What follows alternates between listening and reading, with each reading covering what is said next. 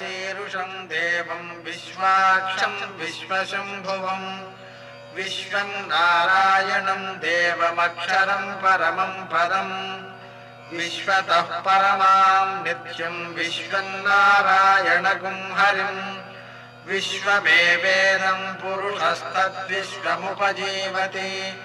पतिम् विश्वस्यात्मेश्वरगुम् शाश्वतगुम् शिवमच्युतम् नारायणम् महाज्ञेयम् विश्वात्मानम् परायणम्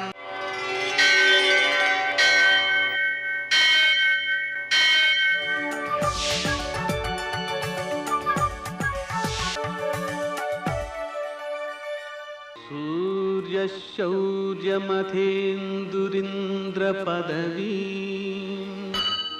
सन्मङ्गलं मङ्गलम् పద్మావతి ప్రణయలాలితముగ్ధదేహ శ్రీ వెంకటేశరుణమోచనమస్తు మహ్యం. నేటి కాలమాన విశేషాలను గమనిద్దాం. స్వస్తి శ్రీ చాంద్రమాన నందననామ సంవత్సరం ఉత్తరాయణం శిశిరుడుతువు పాల్గొన మాసం శుక్లపక్షం శనివారం సూర్యోదయం ఆరు గంటల ఇరవై ఏడు నిమిషాలకు సూర్యాస్తమయం ఆరు గంటల ఇరవై రెండు నిమిషాలకు. తిథి పంచమి తెల్లవారుజామున నాలుగు గంటల నలభై నిమిషాల వరకు నక్షత్రం భరణి సాయంకాలం ఐదు గంటల ఏడు నిమిషాల వరకు వర్జన లేదు. దుర్ముహూర్తం ఉదయం ఆరు గంటల ఇరవై ఏడు నిమిషాల నుంచి ఎనిమిది గంటల రెండు నిమిషాల వరకు. అమృతకాలం మధ్యాహ్నం పదకొండు గంటల యాభై రెండు నిమిషాల నుంచి ఒంటి గంట ముప్పై ఏడు నిమిషాల వరకు. రావుకాలం శనివారం కాబట్టి ఉదయం తొమ్మిది నుంచి పదిన్నర వరకు. నేటి విశేషం శనివారం. వెంకటేశ్వర స్వామికి అలాగే శంకరునికి కూడా ప్రీతికరమైనది. ఇరువురిని కూడా ఆరాధించడం జరుగుతుంటుంది. వెంకటేశ్వర స్వామి భక్తులు ఏకభుక్తం చేస్తుంటారు. అంటే ఒక పూట పలహారం చేస్తూ ఉంటారు ఆ విధంగా ఆచరించడం ద్వారా వ్యక్తి యొక్క శారీరక మానసిక ఆరోగ్యాలు ఉత్తమమైన ఫలితాన్ని ఇచ్చేవిగా రూపొంది. అతను తీసుకునేటువంటి నిర్ణయాలు సక్రమమైనవై తనకు సమాజానికి కూడా శ్రేయస్సును కలిగించేవిగా ఉంటూ ఉంటాయి. శివారాధన చేయడం ద్వారా శని దోషాలు తొలగిపోతాయి. శనికి పూజ చేయడం ప్రదక్షిణాధికం చేయడం కూడా ఉత్తమ ఫలితాలను అందజేస్తుంది. నువ్వులు దానం చేయడం లేదా ఆవుకు పెట్టడం చాలా ఉత్తమ ఫలితాలను అందజేస్తుంది. నేటి ఆణిముత్యాలు.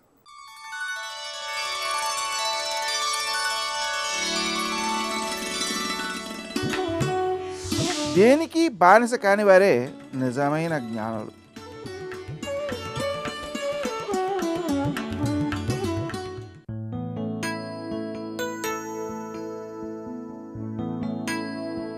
సృష్టిలో ఒక అణువైన నీ ఉనికి ఎంత అల్పమో సృష్టికి కారణమైన శక్తి ఎంత అనంతమో తెలుసుకోగలగడమే భక్తి.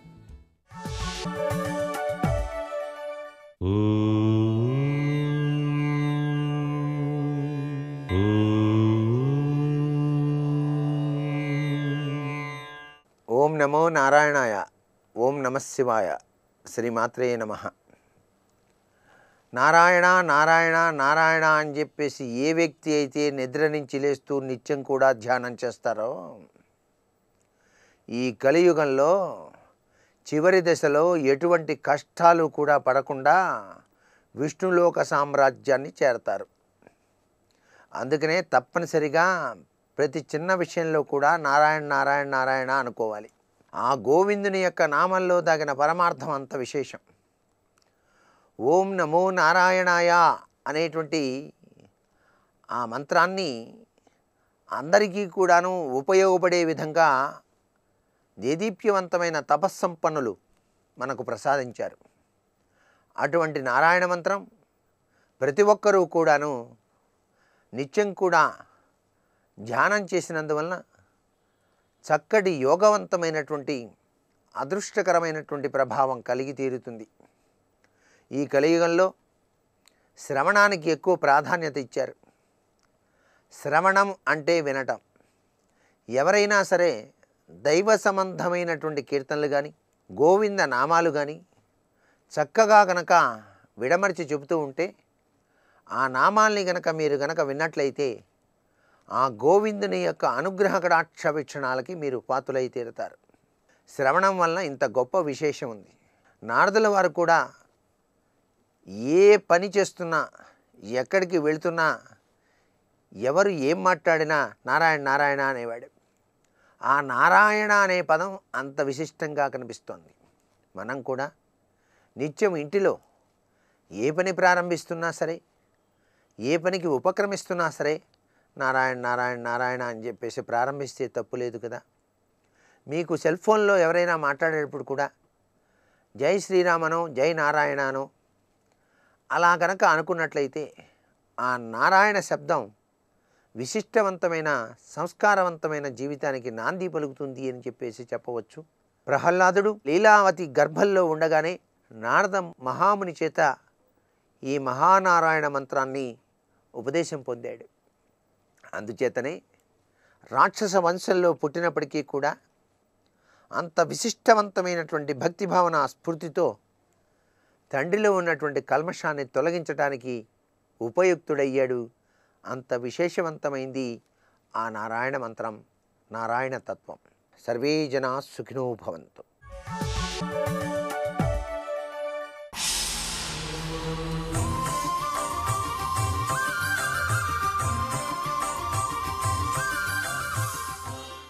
శతక సాహితీ సరస్వతికి నమస్కారం.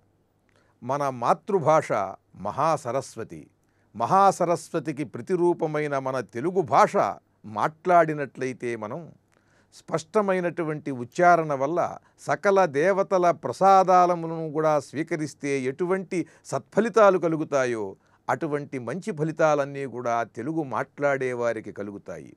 భాషారూపిణిగా ఈ సరస్వతిని ఋషులందరూ అభివర్ణించారు. ఈవిడ భాషా స్వరూపిణి. మన మాతృభాష అయిన తెలుగు గొప్పదనాన్ని వివరిస్తూ నేను రాసిన తెలుగు భాషా శతకంలోని కొన్ని పద్యాలను గురించి ఈ రోజు నుండి తెలుసుకుందాం. తెలుగు భాష సకల దేవతల ప్రసాదాల సారం. పులిని ఎక్కిన తల్లి పులిహోర ఘుమఘుమా నరసింహదేవు పానకపు ఘాటు. ఉరు బొజ్జగణపయ్య ఉండ్రాళ్ళ ఘనతయున్ కన్నయ్య మూతిపై వెన్న మెరుపు. ఆంజనేయుని నేతి అప్పాల రుచియును సత్యదేవుని సుప్రసాద శుచియు. శివుని పాయసమున స్తవనీయ మహిమయున్ తిరుపతి లడ్డులో తీయదనము. సకల దేవ ప్రసాదాల సారమగుచు. సర్వదేవతాతత్వ ప్రసారమగుచు కామితార్థంబులన్నియున్ కలుగజేసి దివ్య జీవనమొసగుని తెలుగు భాష. మన తెలుగు భాషలో కనకదుర్గాదేవికి ప్రసాదమైన పులిహోరలో ఉండేటువంటి ఘుమఘుమ కమ్మదనము ఈ తెలుగు పదాలలో ఉన్నాయి. ఈ తెలుగు కవిత్వంలో ఉన్నది. ఆ మహిమ కూడా ఈ తెలుగు కవిత్వంలో తెలుగు భాషలో ఉన్నది. పులిని ఎక్కిన తల్లి పులిహోర ఘుమఘుమ నరసింహదేవు పానకపు ఘాటు నరసింహస్వామికి పానకాన్ని నైవేద్యం చేస్తారు. ఆ పానకం తీయగా ఉంటూ కూడా అందులో కలిపినటువంటి మిరియపు పొడి వల్ల ఘాటు కూడా కలిగి ఉంటుంది. తీయదనము ఘాటు రెండూ కలిసినటువంటి లక్షణం ఈ పానకంలోనే ఎక్కువగా ఉంటుంది. తీపి పదార్థానికి దేనికి కూడా ఘాటు అనేది సహజంగా ఉండదు. ఈ నరసింహస్వామికి మాత్రం మనం సమర్పించే పానకంలో తీయదనము ఘాటు ఉంటుంది. అలా మాధుర్యము ఘాటువు కూడా కలగలిసినటువంటిది ఈ తెలుగు భాష. ఉరుబొజ్జగణపై ఉండ్రాళ్ళ ఘనతయున్ కన్నయ్య మూతిపై వెన్న మెరుపు వినాయకుడి చేతిలో ఉన్నటువంటి ఉండ్రాయి వంటిది ఈ భాష. ఆ ఉండ్రాళ్ళు ఎంత కమ్మగా ఉంటాయో అంతని కమదనం కలిగినటువంటిది మన భాష.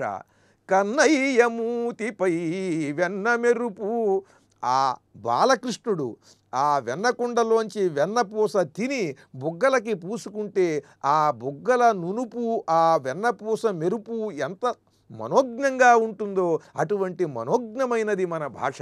ఆంజనేయుని నేతి అప్పాల రుచియును సత్యదేవుని సుప్రసాద శుచియు ఆంజనేయ స్వామికి మనం నైవేద్యం చేసేటువంటి అప్పాలలో ఎంత మృదుత్వము తీయదనము ఉంటుందో సత్యనారాయణ స్వామి ప్రసాదం ఎంత శుచిగా గుమగుమలాడుతూ ఎంత తీయగా ఉంటుందో అటువంటి మాధుర్యం కలిగినది మన భాష.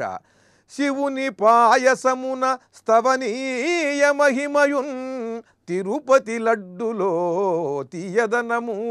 తిరుపతి లడ్డులో ఆ పచ్చకర్పూరం యాలకులు కుంకుమ పొడి వేసినటువంటి ఆ లడ్డుకి ఎంత మాధుర్యము ఎటువంటి చక్కని పరిమళము ఉంటుందో అటువంటి మాధుర్యము పరిమళము కలది మన భాష. అలాగే శివుని పాయసంలో ఉండేటువంటి అద్భుతమైన మాధుర్యము మహిమ ఎటువంటిదో అటువంటి మాధుర్యము మహిమ కలది మన భాష.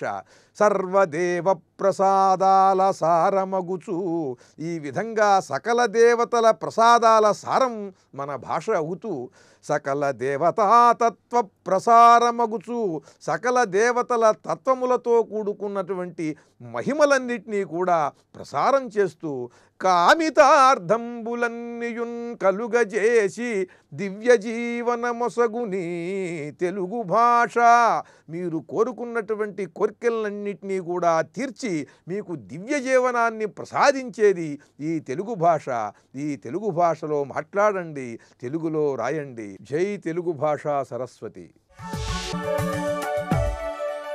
ఉన్నది నీ ఒక్కడవే ఉమానాథ. నాకున్నది నీ ఒక్కడవే ఉమానాథ. ना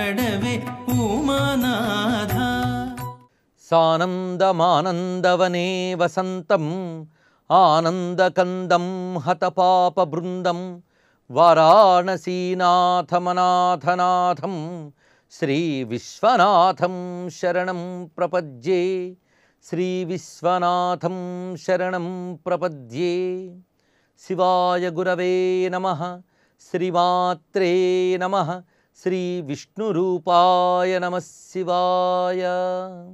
జగదంబ సతీదేవి దక్షయజ్ఞంలో ప్రవేశించి దక్షుని మందలించి అక్కడ దేవతలందరినీ కూడా హెచ్చరిస్తున్నది ఈ సందర్భంలో సతీదేవి పలికిన పలుకులు చాలా విస్తారంగా మనకి పురాణాల్లో కనబడుతున్నాయి. ఇలాంటి సంభాషణల వల్ల ప్రయోజనం ఏమిటి? అంటే ఆ సంభాషణలు మనం చెప్పుకోవడం వల్ల ప్రయోజనం ఏమిటి అని ప్రశ్న వేసుకోవాలి. ఇలాంటి సంభాషణల వల్ల భగవత్ తత్వం తెలుస్తుంది. ఒక లీల ద్వారా తత్వం తెలుసుకోవడమే పరమార్థం. అందుకు భగవంతుడు తన తత్వాన్ని తెలియజేయడం కోసం లీలను ఆచరిస్తాడు. ఆ లీల సామాన్యులకు కూడా వినడానికి కథారూపంగా ఉంటుంది కనుక ఆసక్తిని కలిగిస్తుంది. అలాంటి ఆసక్తికరమైన కథలో ఈ సంభాషణలు సంఘటనలు వీటి ద్వారా ఈశ్వరతత్వ ప్రతిపాదన జరుగుతుంది. ఇంతవరకు సతీదేవి సంభాషించినటువంటి విషయములన్నీ కూడా శివతత్వ ప్రతిపాదన చేస్తున్నాయి.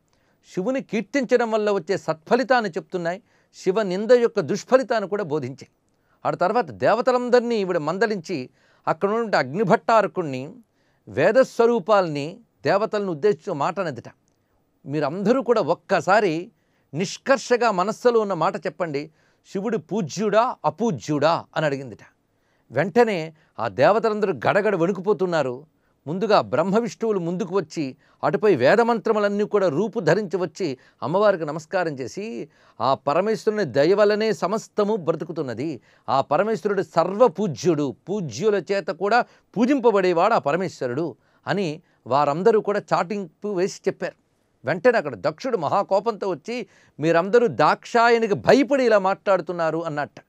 అంతేగాని సత్యాన్ని ఒప్పుకోలేకపోతున్నాడు. ఎందుకంటే వినాశకాలే విపరీత బుద్ధి అన్నారు. అందుకు సత్యాన్ని అతను అంగీకరించలేక ఈ మాట ఎప్పుడైతే చెప్పాడో అమ్మవారు మహా ఆగ్రహంగా దక్షుణ్ణి చూసి ఇంకా నేను దాక్షాయనిగా ఉండ తగదు ఎందుకంటే ఎంత చెప్పినా నీకు బుద్ధి రావడం లేదు.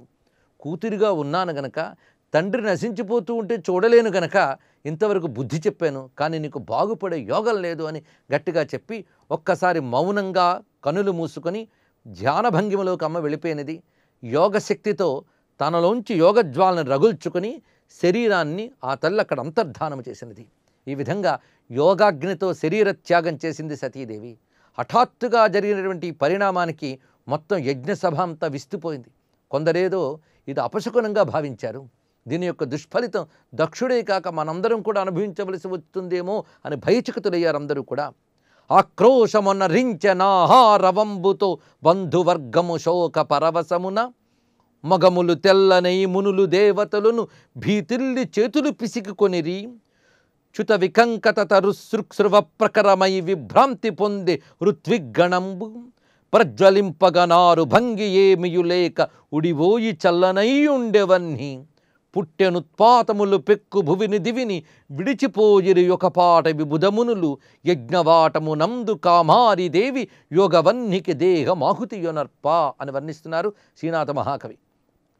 ఒక్కసారిగా అమ్మవారు ఈ విధంగా యోగాగ్నికి శరీరం త్యజించిన వెంటనే బంధువర్గమంతా ఆహాకారాలు చేశారు శోకముతో. ఇక దేవతల ముఖాలు తెల్లబడిపోయాయి ఏం చేయాలో తెలియక వాళ్ళు చేతులు పిసుక్కుంటూ కూర్చున్నట్ట. పైకి ఎత్తినటువంటి సృక్స్రువములు ఆ ఋత్విగ్గణము ఏదైతే యజ్ఞమునందు పైకెత్తి పట్టుకున్నారో ఆ శృక్సురములు భయంతో జారిపడిపోయే కిందను. ఇక అగ్నిహోత్రుడు అంత నెయ్యి పడుతున్నా జ్వలించలేక తనకు తానే చల్లబడిపోతున్నాడు. ఎన్నో ఉత్పాతాలు కనబడుతున్నాయి అనగా అపశకునములు గోచరిస్తున్నాయి. ఇలాంటి స్థితిలో మొత్తంగా వాతావరణం శోకమయంగా భయంకరంగా మారిపోయింది.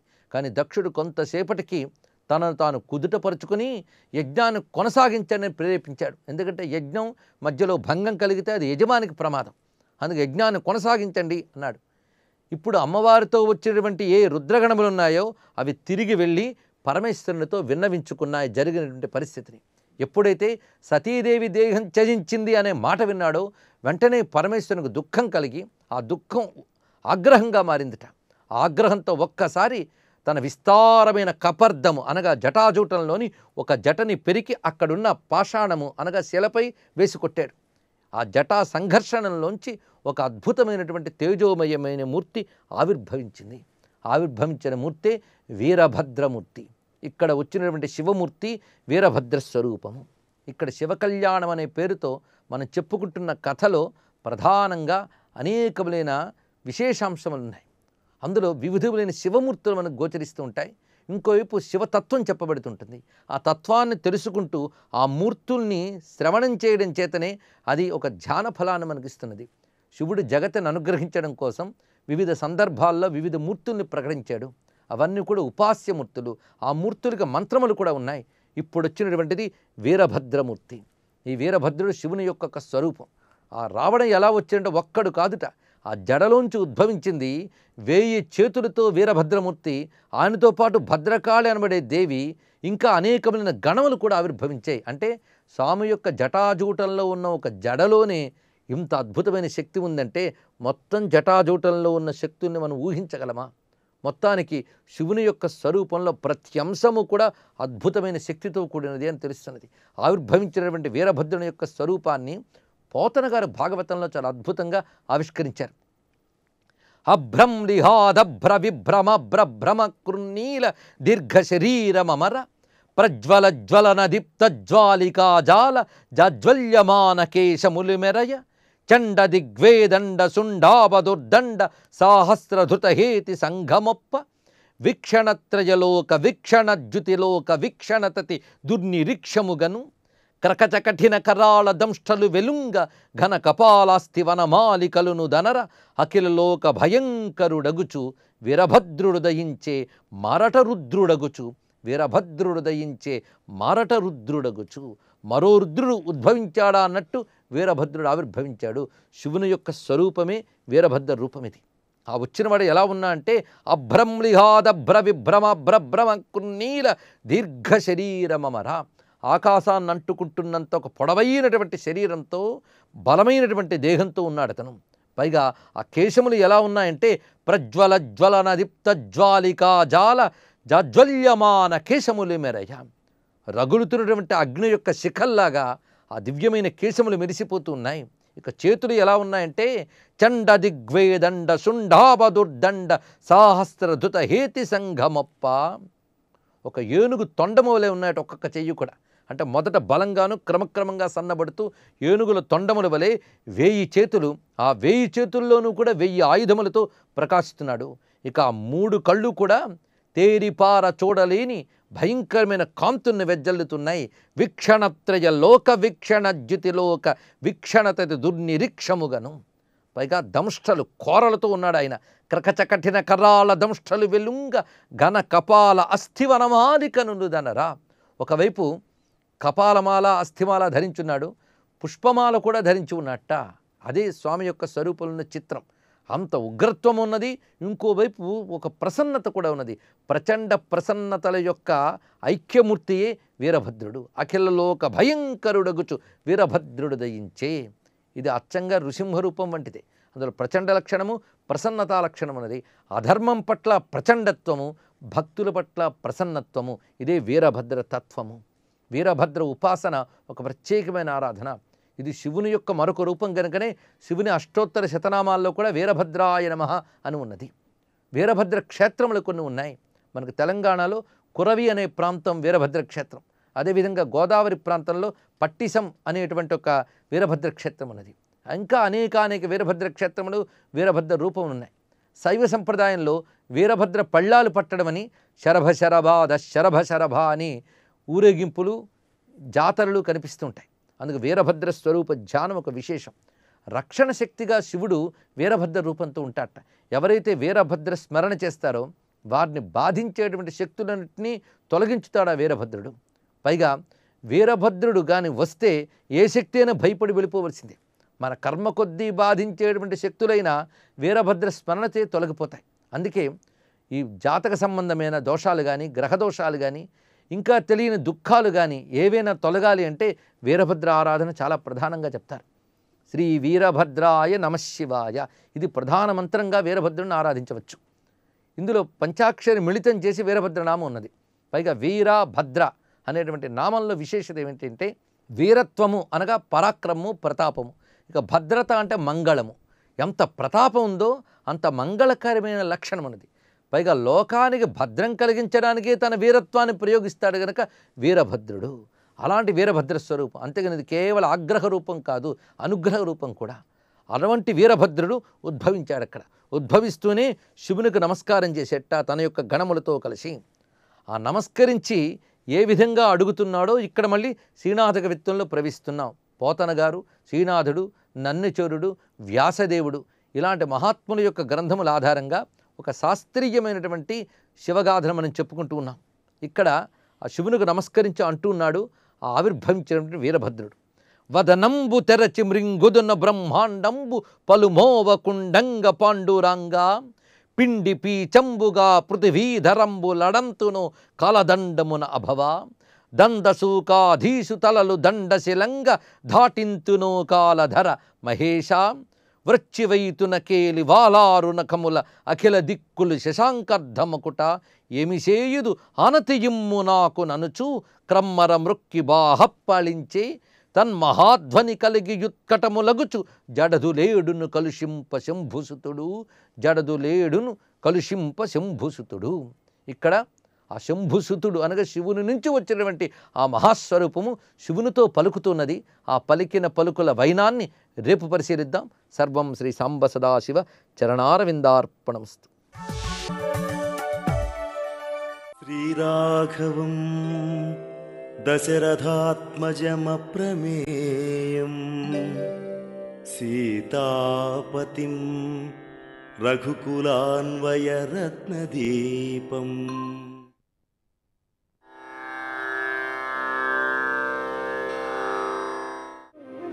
सीताप्यनुगता रामं शशिनं रोहिणी यथा पौरैरनुगतो दूरं पित्रा दशरथेन च రోహిణి చంద్రుడిని అనుసరించినట్లుగా సీతాదేవి రాముణ్ణి అనుసరించి వెళ్ళింది ప్రజలు తండ్రి అయినటువంటి దశరథుడు సీతారామ లక్ష్మణుల వెంట కొంత దూరం వరకు నడిచి వెళ్ళాలని చెప్పేసి అని కూడా దీని యొక్క తాత్పర్యం. సీతాదేవి రాక్షసుల యొక్క సంహారం కోసమే సృష్టించబడినటువంటి దేవమాయ అని తెలుసుకున్నాం. శ్రీరాముడు కౌసల్యమాతకు వనవాస విషయం చెప్పి ఆమెను ఓదార్చాడు. లక్ష్మణుడితో కలిసి నడుచుకుంటూ సీతా మందిరానికి చేరుకున్నాడు. తాను లోపలికి వెళ్ళాడు. సీతాదేవి సంతోషంగా స్వాగతం చెప్పటానికి వచ్చింది. అప్పుడు ఆమెకు రాముడు తల వంచుకొని లోనికి రావటం కనిపించింది. వ్రతదీక్షలో ఉండటం వల్ల సీతాదేవికి జరిగిన విషయాలేవీ తెలియవు పాపం. తన వద్దకు వస్తున్నటువంటి రాముణ్ణి చూసి విషయం తెలుసుకున్నది. అన్నీ అయిన తర్వాత తాను కూడా రాముడితో అడవికి వెళ్ళటానికి నిర్ణయించుకుంది. అన్నీ తెలుసుకున్న తర్వాత ఇక నేనెందుకు ఉండాలి ఎక్కడ అని. రాముడు సీతను అడవికి రాకోకుండా చేయాలని అడవిలో ఎదురయ్యేటువంటి కష్టనష్టాలను ఆమెకు వివరించాడు. అయినా సరే సీతాదేవి నేను మీతోనే నేను నడుస్తాను అనే నిర్ణయాన్ని మార్చుకోలేదు. అప్పుడు శ్రీరాముడు సీతను తనతో పాటు రావటానికి కూడా అంగీకరించారు. అక్కడ వాగ్వాదం చాలా బాగా జరుగుతుంది. పెండిలో జరిగిన వ్యవహారం అంతా బాగా మళ్ళీ జ్ఞాపం చేసుకుంటారు. దశరథుడు ఆడిన మాటలు కూడా జ్ఞాపం చేసుకుంటాడు. అందుకని ఇక్కడ సీతామాత సంతోషంతో ఆభరణాలను తీసి పక్కన పెట్టేసింది సీతారామ లక్ష్మణులు దశరథుడికి తల్లులకు నమస్కరించారు అందరికీ కూడా. రాముడు దశరథుడితో మహారాజా నేను దండకారణ్యానికి వెళుతున్నాను. నన్ను ఆశీర్వదించండి అన్నాడు. అప్పుడు దశరథుడు రాముణ్ణి రాజ్యం స్వీకరించమని చెప్పగా రాముడు నేను వనవాసం చేస్తానని సత్యం మీద ధర్మం మీద ఒట్టు పెట్టాడు. ఆ ధర్మ నిర్ణయానికి కట్టుబడినటువంటి రాముణ్ణి చూసి అందరూ దుఃఖించారు. దశరథుడు సుమంత్రుడితో రాముణ్ణి రాజ్య లాంఛనాలతో సాగనంపు అన్నగా అని చెప్తూ ఉండగానే కైకేయి అందరి ముందర నిర్మోహమాటంగా ఇలా అన్నది రాముడు రాజులాగా కాదు మునిలాగానే జీవించాలి అనే తన దగ్గర సిద్ధంగా ఉంచుకున్నటువంటి నార బట్టలు తెచ్చి సీతారామ లక్ష్మణులు ధరించమన్నది. రామలక్ష్మణులు అవి ధరించారు. కానీ సీతకు మాత్రం అవి ఎలా ధరించాలో అర్థం కాలేదు. రాముడు సీత మనస్సు అర్థం చేసుకొని అందరూ చూస్తూ ఉండగానే నార చీరలను సీత కట్టుకున్నటువంటి పట్టు చీర మీద చుట్టాడు. అది చూసి అంతఃపురంలోని సేవకులు కైకాయను నిందించారట బాగా. రాముడి వెంటే రాజ్యం ఉంటుంది. భరతుడు కూడా రాముడితోనే ఉంటాడు. ఎవరూ లేనటువంటి అయోధ్యలో నువ్వు ఒక్కదానివే ఉండి సుఖం అనుభవించు అన్నాడు వశిష్ఠుడు. అప్పుడు దశరథుడు సుమంత్రుడితో దేశ సరిహద్దుల వరకు సీతారామలక్ష్మణులను రథంలో విడిచిరా నువ్వు. సీతారామలక్ష్మణులు అందరికీ నమస్కరించారు. సుమిత్రా లక్ష్మణుని చూసి శ్రీరాముడే నీకు సర్వస్వం. రాముని యొక్క రక్షణలో ఏమరపాటు వద్దు. జాగ్రత్తగా కాపాడుతూ ఉండు. శ్రీరాముడు నీ తండ్రి. సీత నీ తల్లి. త్యాగరాజ కీర్తన జ్ఞాపకం వస్తుంది అరణ్యాన్ని అయోధ్య పట్టణం అనుకొని సేవ చెయ్యి. శుభం అని ఆశీర్వదించింది. అప్పుడు రోహిణి చంద్రుడి వెంట ఉన్నట్లుగా ఆ సీతాదేవి రాముణ్ణి అనుసరించింది. సీతారామ లక్ష్మణుల రథం కదిలింది. అయోధ్యలోని ప్రజలందరూ కూడా ఒక్కసారి బోరణ ఏడ్చారు. రథం తోలుతున్నటువంటి సుమంత్రుని నెమ్మదిగా వెళ్ళమంటున్నారు. అందరి దుఃఖాన్ని చూడలేనటువంటి రాముడు త్వరగా రథం నడపమని చెబుతున్నాడు. దశరథుడు వెనుక నుంచి రథాన్ని ఆపు అని అరుస్తూ కొంత దూరం వరకు నడిచి ఆగిపోయాడు. రథం కంటికి కనిపించే వరకు చూస్తూ ఉండిపోయినాడు పాపం. బాధతో వెనుదిరిగాడు అని చెప్తారు. అది మనం అనుకున్నప్పుడు ఇప్పటికీ మనకు కంట్లో కనపడినట్టుగా ఉంది కదా. సీతారామాభ్యాం నమ.